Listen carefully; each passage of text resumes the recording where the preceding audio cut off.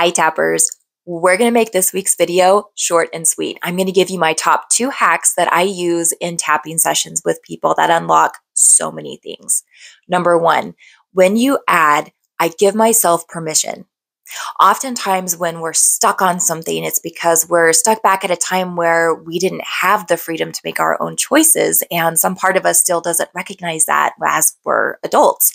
So, by saying, I give myself permission to, we're allowing ourselves to bypass a whole lot of things that feel like hurdles we have to jump over.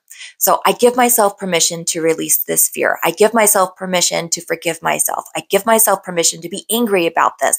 I give myself permission to be to feel selfish until I figure this out.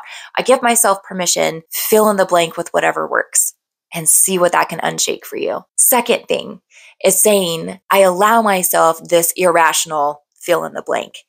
Meaning, if you're in a hard time and what you really need is to feel happy, but you don't have any happy stimuli, you can say to yourself, I give myself permission to be irrationally happy right now.